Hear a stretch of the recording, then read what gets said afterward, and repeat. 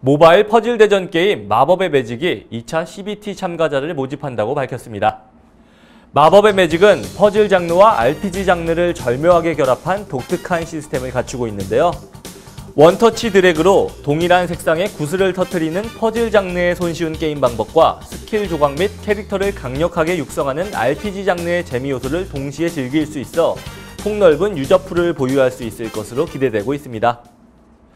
특히 이번 11월 5일부터 7일까지 진행될 2차 CBT에서는 지난 1차 CBT에서 놓쳤던 부분들을 보완하며 완성도 높은 게임성을 위해 최종 점검을 진행한다고 하는데요.